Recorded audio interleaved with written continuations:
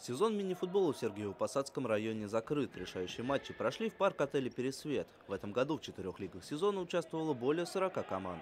Ну, появляются новые футболисты, уровень футбола растет, уровень борьбы растет. Э, Вот у нас даже сейчас, вот судя по финалам, не все лидеры чемпионатов в финале оказались. Это говорит о том, что конкуренция растет, очень упорная борьба во всех лигах была до последнего тура.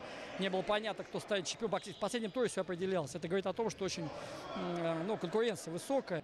Новые спортсмены приходят во взрослый футбол из детско-юношеских спортивных школ района. Некоторые, как отмечает Аркадий Ткач, получают предложения от профессиональных клубов. Именно на подобных соревнованиях можно открыть талантливых игроков.